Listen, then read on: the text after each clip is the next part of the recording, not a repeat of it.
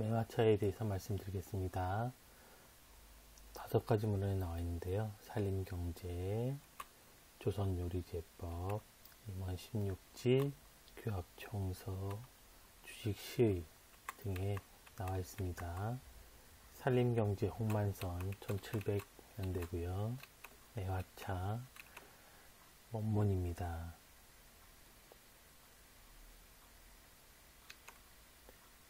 번역문입니다. 조리법입니다. 1. 반쯤 핀 매화 꽃봉오리를 따서 밀랍으로 아래 위를 봉하, 봉하듯이 바른다. 2. 이리 꽃봉오리를 꿀 항아리에 넣고 재운다. 3. 꿀에 재운 매화 꽃 봉오리를 잔에 담고 뜨거운 물을 붓는다.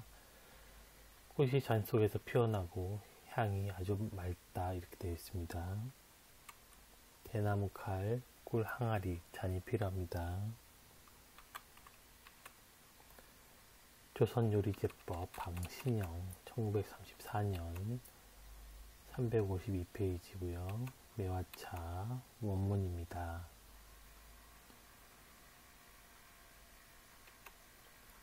번역문입니다. 섣달에 반 정도 핀 봉우리를 따서 말려두었다가 여름에 끓는 물을 넣어 우린 후 설탕을 넣어 먹으면 매우 좋다 이렇게 되어 있고요. 조리법입니다. 1. 섣달에 반 정도 핀 봉우리를 따서 말려둔다. 2. 여름에 끓는 물에 넣어 우려내고 설탕을 넣어 먹는다. 이렇게 되어 있습니다. 임원 16지 서유구 1835년경이고요. 매화차 암향탕방이라고 합니다. 원문입니다. 번역문입니다. 매화가 막 필 무렵 맑은 아침에 반쯤 핀 꽃망울을 꽃자루에 달린 그대로 떠서 병에 넣는다. 꽃 한 양에 볶은 소금 한 양을 뿌리는데 손으로 만져 상하게 해서는 절대 안 된다. 두꺼운 종이 몇 겹으로 밀봉하여 그늘지고 시원한 곳에 둔다.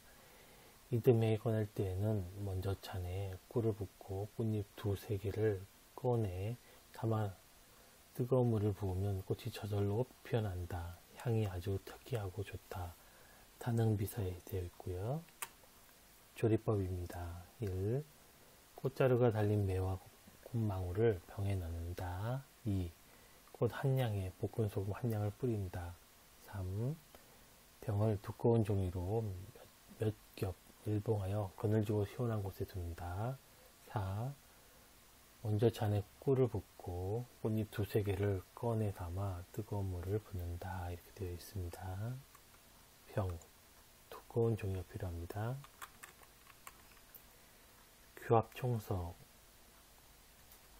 빙어가기시 19세기 초고요. 매화차 원문입니다. 번역문입니다.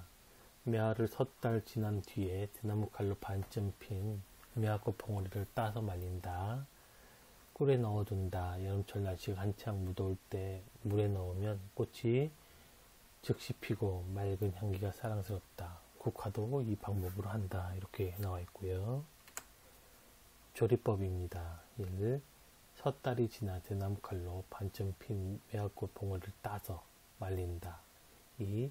말린 매화꽃 봉오리는 꿀에 담가둔다. 3. 물에 이의 매화꽃 봉오리를 넣는다.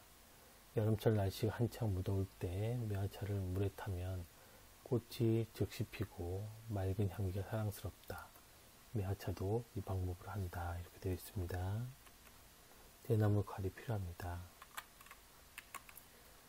주식시의 연안이시 19세기 후반 매화차 원문입니다. 고문으로 되어 있고요. 번역문입니다. 서타로 데칼로 반쯤 핀 매화 꽃봉오리를 따 나리, 그러니까 백합과 말려 꿀에 넣어 여름에 천기 방열하거든 끓는 물에 넣으면 꽃이 즉시 뜨고 맑은 향기가 사랑할 만하다. 고카도 이와 같은 법으로 한다. 이렇게 되어 있고요. 조리법 1. 반쯤 핀 매화 봉우리를 대칼로 딴다. 대나무 칼입니다. 고카도 이와 같이 할 수 있다. 2. 매화와 백합을 말려 꿀에 넣는다. 3. 끓는 물에 넣는다. 이렇게 되어 있습니다. 데칼이 필요합니다.